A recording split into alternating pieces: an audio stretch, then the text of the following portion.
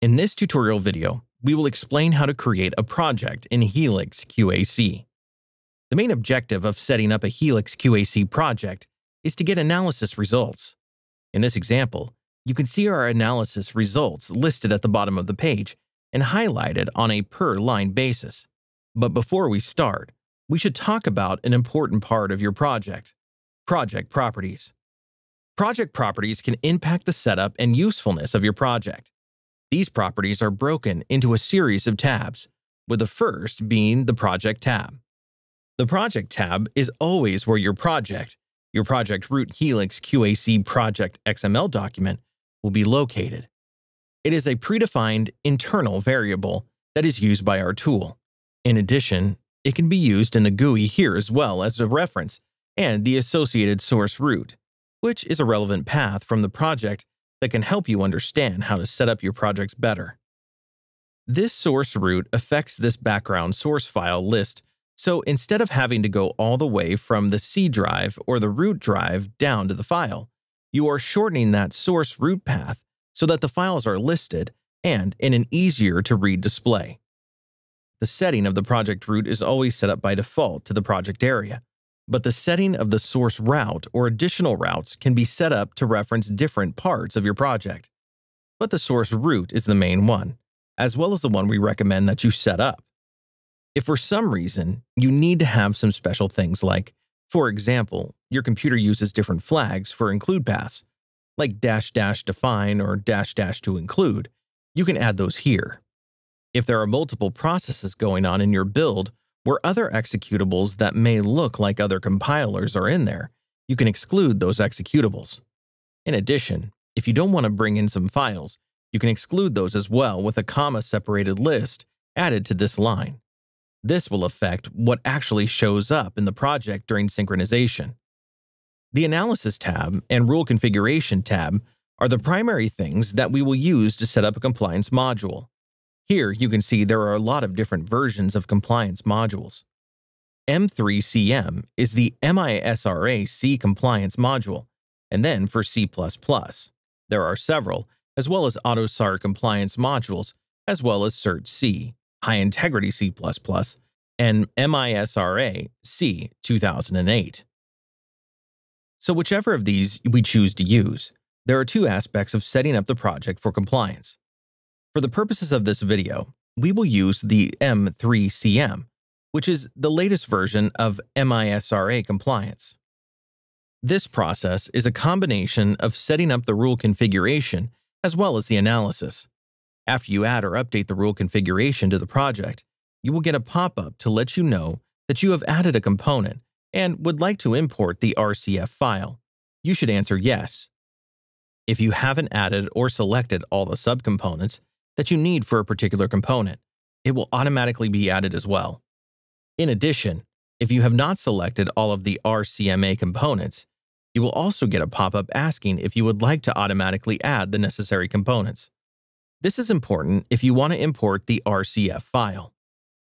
For example, since this is the first one that you will be dealing with, you will want to replace it so that it becomes the primary rule configuration file. You should then see that it is included here in rules. Next, your compiler selection should be based upon the compiler that you're using. If you don't have a compiler available in this list, then there are two things that you can do. You can either use an external CCT generator, or we have an internal CCT generator in this tool.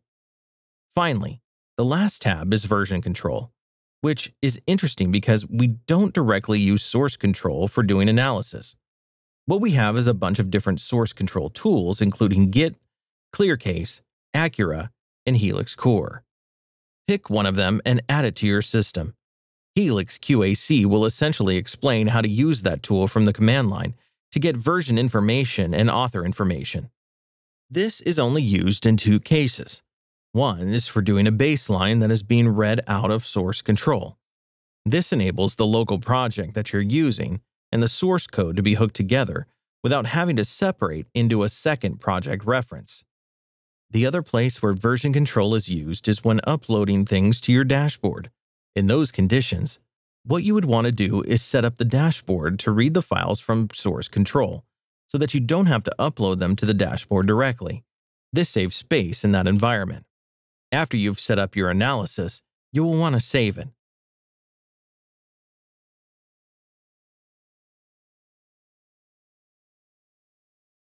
Let me pause to share a common mistake when setting up a project.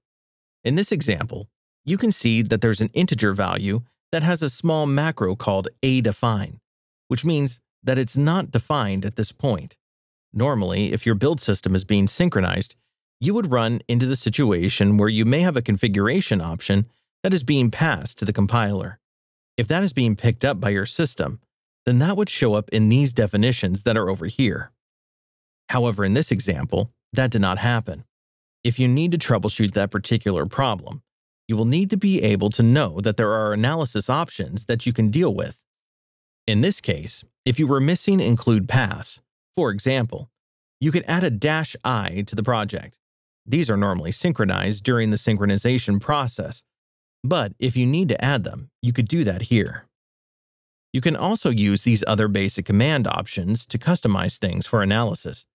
In addition, as part of your setup, you can enable data flow and tell the compiler that there are extensions that may be applicable. Now, let's fix our aDefine issue. We want to go to user arguments and add aDefine equals whatever it is we need it to. For this example, we will say that aDefine equals 4, save and close the window. Now, when we go to do the analysis, that configuration option will be replicated by our analysis in the same way that it would have been used by the compiler. You should now be able to see your results are being displayed with the Rule Groups tab by the particular compliance module that you're looking at.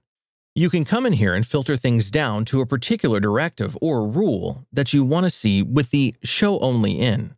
Then, you can focus on that particular issue as you fix the issues that the static analysis has found for your project.